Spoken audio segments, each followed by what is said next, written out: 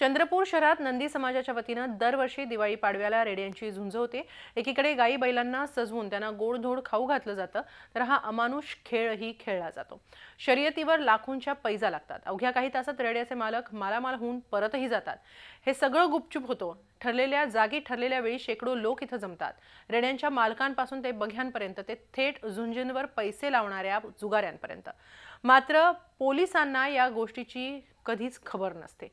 हा प्रकार गेल्या अनेक पिढ्यांपासून आहे. मात्र इथे येणारे लोक रेड्यांना होणाऱ्या जखमा आणि जुगार याकडे दुर्लक्ष करून ही केवळ निखळ म- करमणूक असल्याचा अजब युक्तिवाद करतात.